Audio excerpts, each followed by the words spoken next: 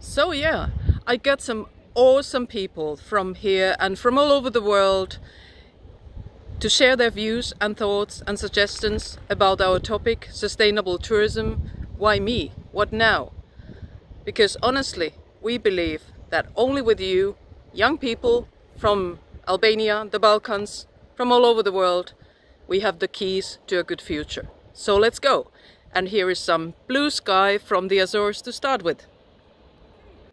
We are starting uh, with the CEO of the Global Sustainable Tourism Council, Randy Durband.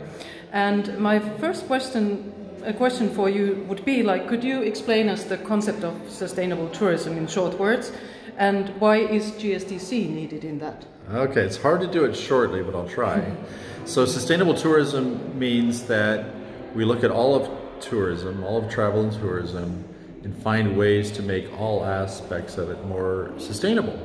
And that's also including the concept of more responsible because it's make take the good positive elements of tourism and keep doing the good pieces mm-hmm. without but avoid the harmful effects of tourism because tourism can cause harm it can cause degradation of uh, environments and cultural sites if they're too over abused and not protected. Mm-hmm. And there are a lot of carbon emissions and other greenhouse gases associated with transport and other aspects of it. So it's talking about the totality of the travel and tourism mm-hmm. experience mm-hmm. and making sure that all the components are operating as sustainably and as responsibly as possible. Mm-hmm. GSTC's role, uh, a few different elements primarily, first and foremost, is that we're, we, we've developed and managed global baseline standards. Mm-hmm. That we're kind of alone in terms of being recognized as the keeper of one set of standards. We were created by um, our founders coming from uh,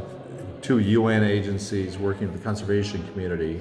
So we're kind of alone in that space um, by design to create a, a, a, stand, a set of standards that uh, are globally recognized and used.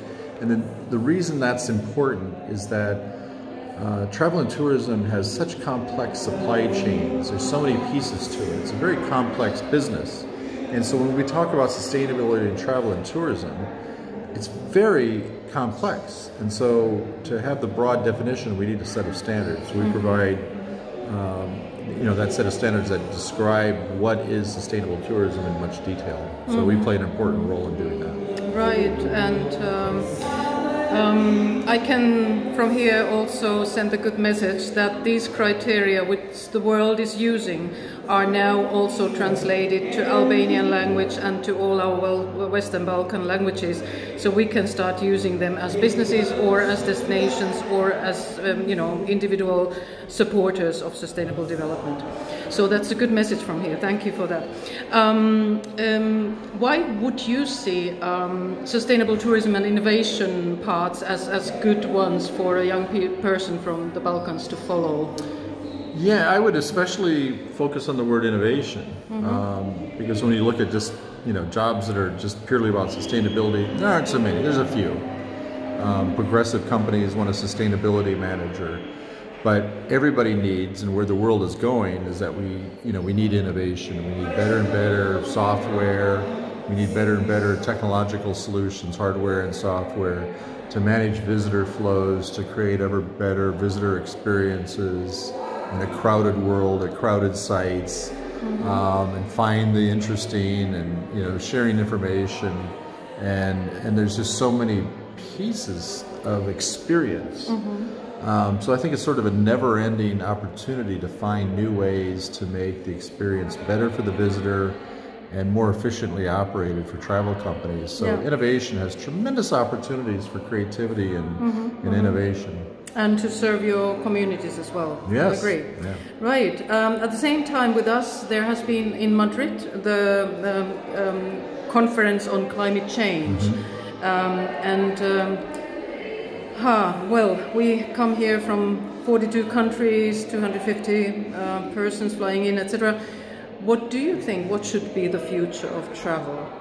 Well, travel and tourism faces a bit of a risk because we are so dependent upon aviation and aviation is, at the moment, still very much dependent upon fossil fuels.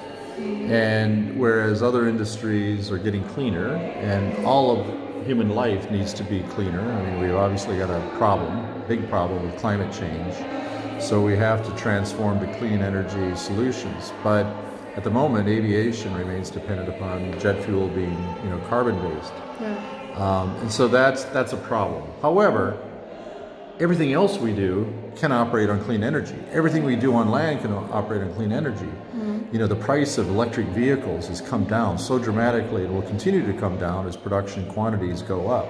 Mm. So we can have cleaner land transport. We already do. We could have more uh, more clean, well, more sustainable running hotels. Everything we do on land is getting much cleaner and can be much cleaner. So we've got two things going on. The land mm. portion yep. uh, has great opportunity to be super clean, whereas we've got a problem on the on the aviation side. Yeah. But in terms of land transport, we've got to move more to high-speed rail yeah. that can run on cleaner electricity and so forth. And then hope that technology will support aviation to run on cleaner fuels. Right. But uh, in the meantime, we have to figure that out. That you know, should we travel less? There's a lot of us, myself included that believe we should focus more on slow travel concept where we travel less often but for longer stays and aggregate yeah. our trip, yeah. whether it's business or leisure, do more for a longer trip and travel less so we burn more carbon emissions. Yeah. But we but let's keep traveling. It's yeah, and nature. stay longer and, stay and, longer, and bring the good uh, impacts to the local communities, etc. And then maximize good impacts yeah, also and we, nature. And we don't have to feel shame about every flight we take. We should feel shame if we take you know, too many. Yeah, and know, too short. So, too short. Yeah, yeah, yeah. yeah. And, right. and, and question ourselves for the necessity of the short yeah, trip. Yeah. So the travelers aren't, aren't the bad guys. It is the system that needs to change, and we are on a good way of doing exactly that. Who's the good guys yeah. and the bad guys? well, you know, all of humanity is bad in the sense that, come on, we can all do better. Yeah. You know, so at individual level or business level or government, we can all do better. Yeah. We should do much better faster. Yeah. The world yeah. is clearly in peril on many levels, mm. so we need to take more action faster. Yeah. So no really true good guys or bad guys, yeah. but we can all do much better. Yeah, with a lot of accountability in it. Yeah. Thank you so much, oh, my pleasure. Randy. Thank you. You're very welcome. Great message to Albania. See you pleasure. there hopefully soon. I look forward to it. Yeah. Good morning. Uh, today I'm talking with Ayako. She's the um, uh, training director of the Global Sustainable Tourism Council. And my first question to you is, um, how long have you been doing these trainings and what has been your experience? Thank you. I started with the GSTC with our Sustainable Tourism Training Program four years ago um, and I've been fortunate to be involved in working with stakeholders and professionals from around the world in many kinds of uh, training sessions and learning opportunities and I find that the experiences that we bring by people sharing their knowledge and examples and ideas with each other is a key part of the value that we have in, in the training experiences and I, I really appreciate the, the exchange that we bring from our training program. Yeah. I can confirm that because I was uh, participating in one of your trainings online uh, earlier this year and took the exam as well, which was demanding enough. No? Let's look at innovation and digitalization and sustainable tourism. Um, are there special chances for young people, you know, from the Balkans or elsewhere? Like, are there special chances which we're we're not there yet, like in today's world? I think that sustainable tourism absolutely needs to be focused on innovation more now more than, than, than ever. And I do think that with the development of technology nowadays and the access that we have, the opportunities that, that, that we have, I, I do think that there are more diverse mm-hmm. opportunities for, for us and for younger generations to be thinking about ways how we can interact with tourism. How can we, what does it mean to be working in tourism is not the same as what it was 10 years ago, 20 years ago. So we have the chance to define and maybe redefine tourism and sustainable tourism and how we, we work with them. So I hope that our younger generations will be innovative in, in, in bringing new ideas to this field of sustainable tourism. Yeah, I, I can't agree more because uh, this conference, uh, first youth uh, conference in Albania, is actually tackling exactly these things like, like innovation and, and digital. So I'm, I'm, I'm sure that we will get some good synergies going. Um, could we get you soon to Albania to give trainings to the young people? I really do hope so. And I, I, I think that we should bring together engaged, excited young people interested in tourism to come together to, to, to create this, this push that's needed to bring sustainable tourism more forward and, and, and to, to be more priority in, in the country and the, and the region. And I, I hope that we'll be able to play a role in supporting the process by sharing knowledge. There's, there's a lot of knowledge and experiences in within our organization and within our wider network globally that we can share um, to, to support this process. And I hope that we'll be able to do that through our training program. So I really um, invite you to, to stay in touch and, and, and hopefully we will see you in Albania. Yeah, I'm, I'm giving this message directly to the Elbasan University and all the training um, responsibles in, in the country and also the host Elita Travel. Invite this lady to give a train to trainer program and you can disseminate the knowledge like in a, in a fast and a good way. Thank you so much. Thank you. Hi, I'm glad to talk today with um, Dr. Yanis Papas. He's from Greece and he's the director of the GSTC Mediterranean region. Yanis, um, we have seen some excellent examples here at the GSTC conference about sustainability policies and how countries and, and businesses live by them. What would be your suggestion for Albania to start doing the same? I think number one, uh, it should be to create our vision. Yeah.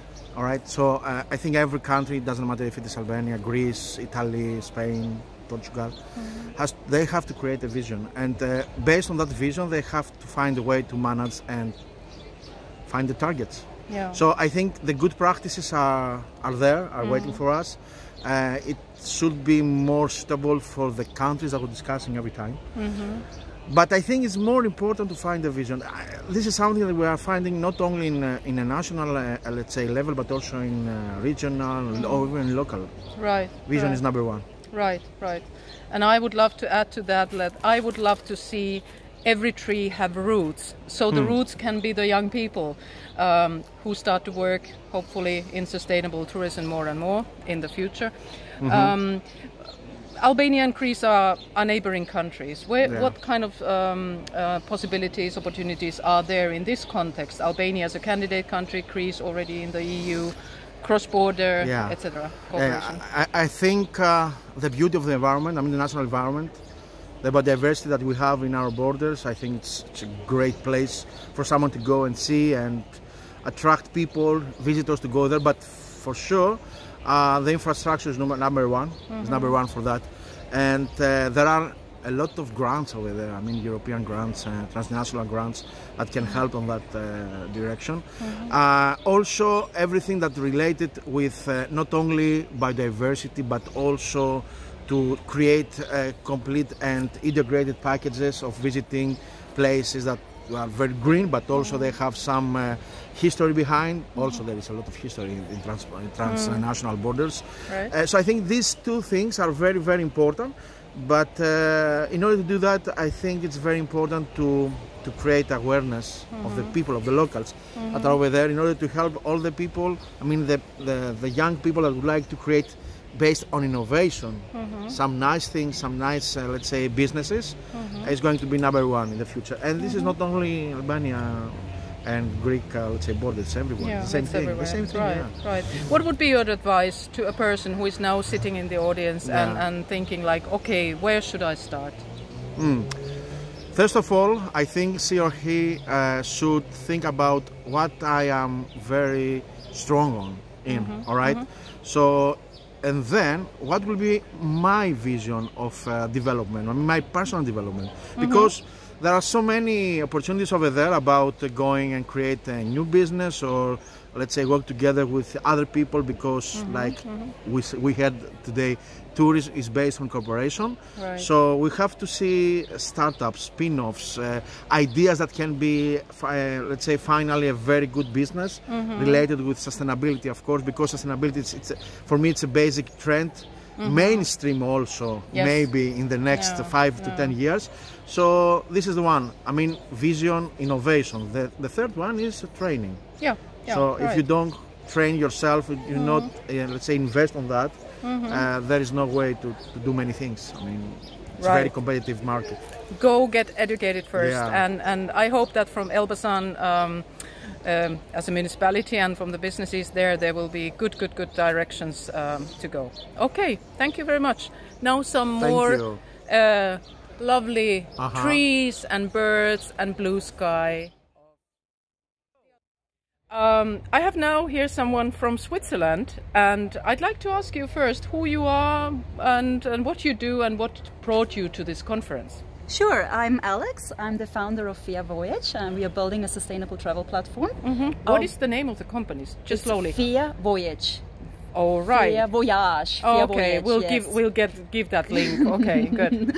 Via Voyage, yes. We are building a sustainable travel platform. Uh-huh. Our idea, our model is to make it easy for travelers to book multi-day trips Mm-hmm. in Africa and mid and lower income countries. And Mm-hmm. the way we are doing it by building one central platform that only promotes independently verified, Mm-hmm. sustainable tour companies. All right. So we want to make sustainable travel easy.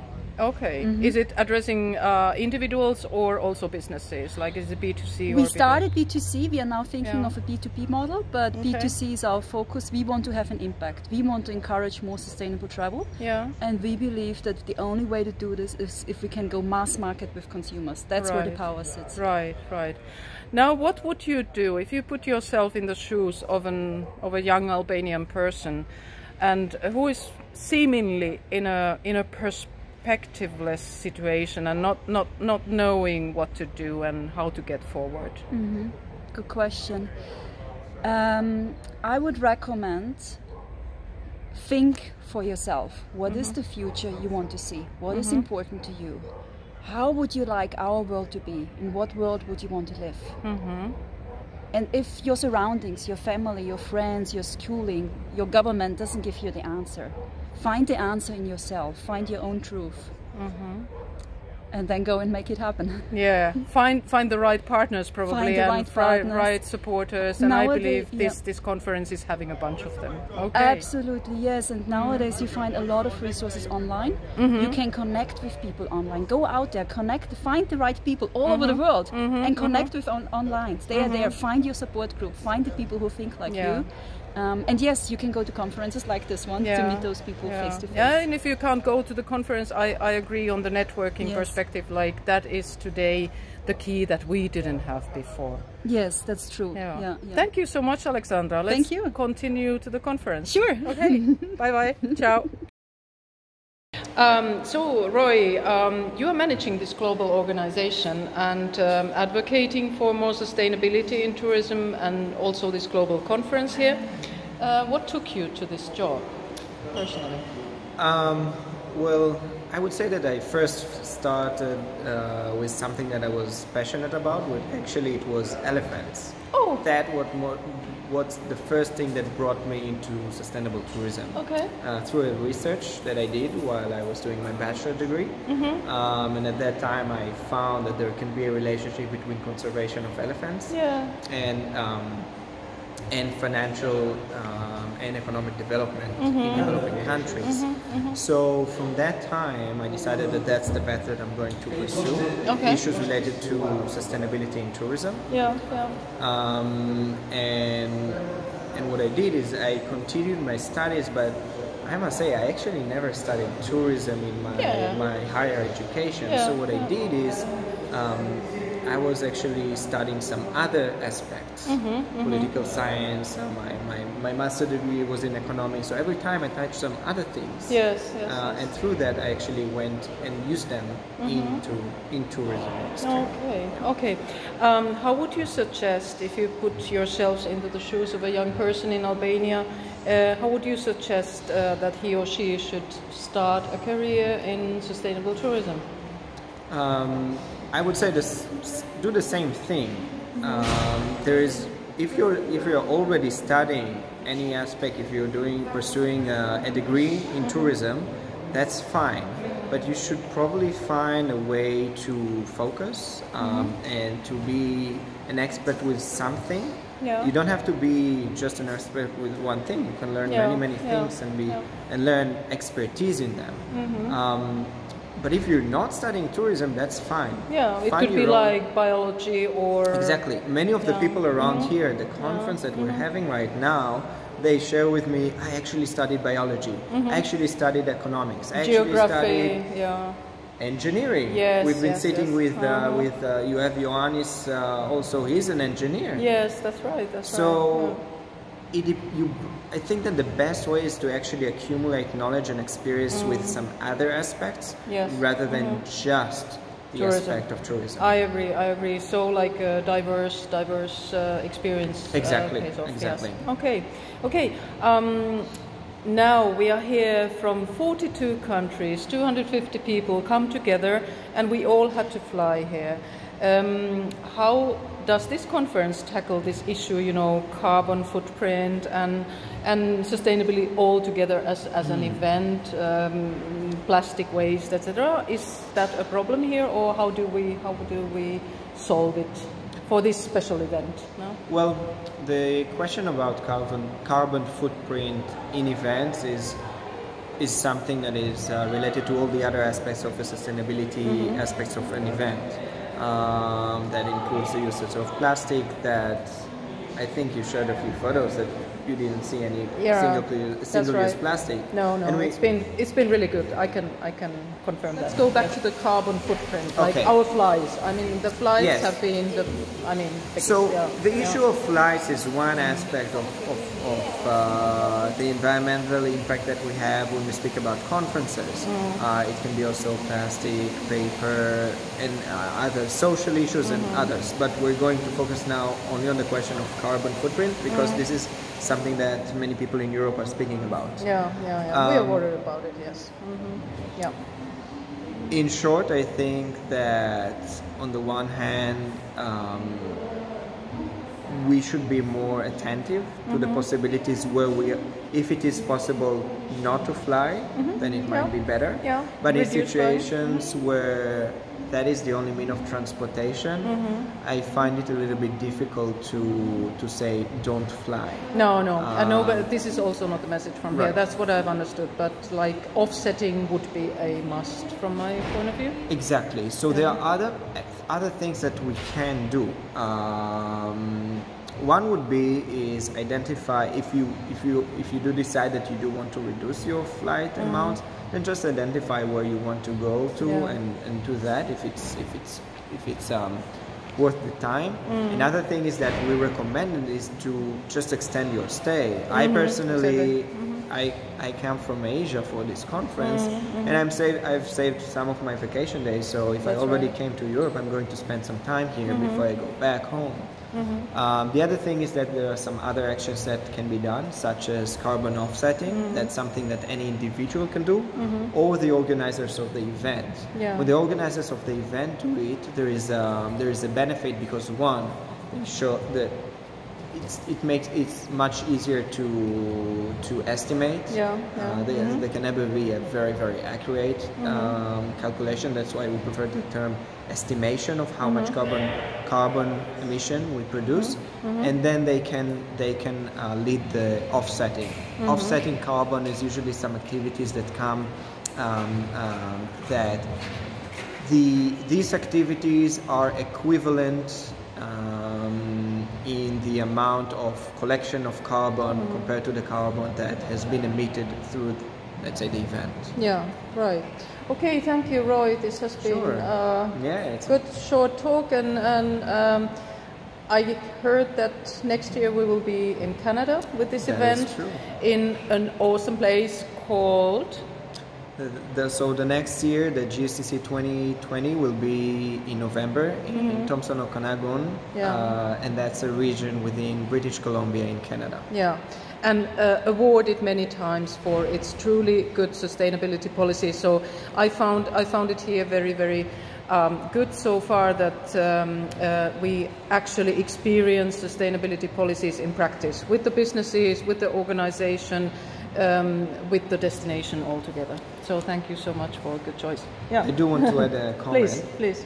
So, when we have all these 250 people that come Mm-hmm. and attend, uh, come, fly in to a destination, and see what is being going on, Mm-hmm. sometimes it's nice to see it as an example somewhere on a PPT or, or a video or whatever. Yeah. But sometimes when you see it in your eyes, Yeah. when you feel it, when, when you taste it, if it's the local Yeah, food that food, we've uh, had, yeah. it really makes some transformation in our mindset and experiences. And we've seen that many participants later on take these things that they've seen and learned. Yeah, and bring them back home. And we had here also a PhD student who uh, is from Elbasan, but she lives in the United States. So we'll introduce her to you as well. Thank you, Roi. Thanks. Thank you very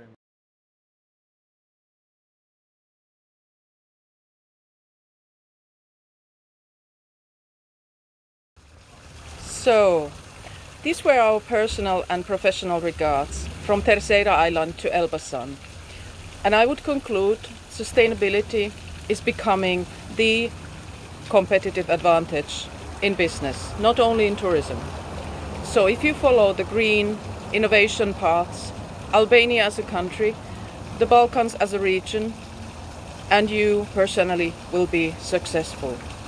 I'm wishing you a great rest of the conference and hoping to see you next year in Albania. Bye bye.